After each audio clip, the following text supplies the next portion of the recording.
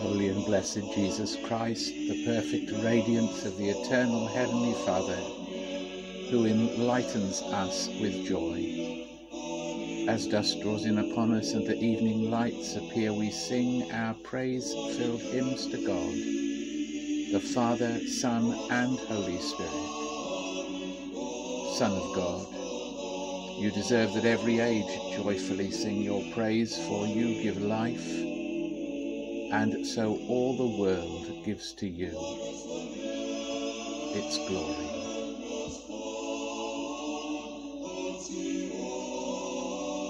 Yet as we come to the end of this day, we acknowledge our need of forgiveness. And so together we say, Most merciful God, we confess to you before the whole company of heaven and one another that we have sinned in thought, word, and deed, and in what we have failed to do. Forgive us our sins, heal us by your Spirit, and raise us to new life in Christ. Amen.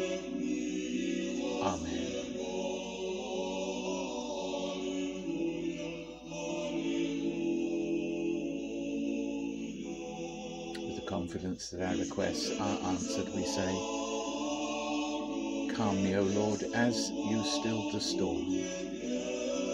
Still me, O Lord, keep me from harm, let all the tumult within me cease.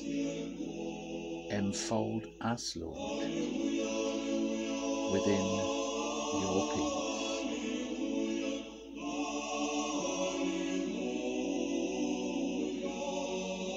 Before we sleep, we long to hear from God in His Word, and tonight we listen to Jeremiah 32, verses 18 and 19.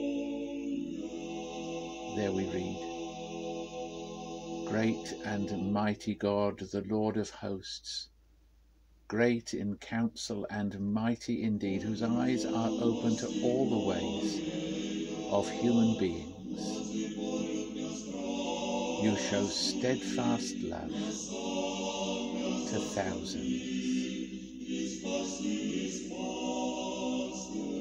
Jeremiah recognized that the Lord his God was all powerful, all wise, all knowing, and abounding in love to his own. What surer foundation can we build upon than this four cornered base? Lord God, your wisdom cannot be eclipsed, your power triumphs over all. Your knowledge is perfect, your love is enduring. Lord God, how great is our God.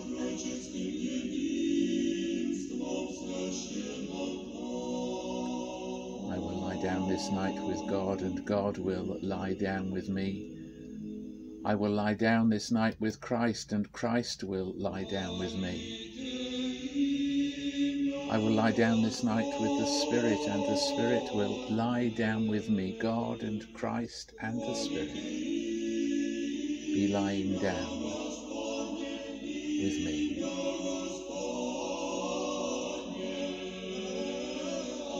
Thus may the peace of all peace be ours tonight and every night. In the name of the Father, the Son, and the Holy Spirit.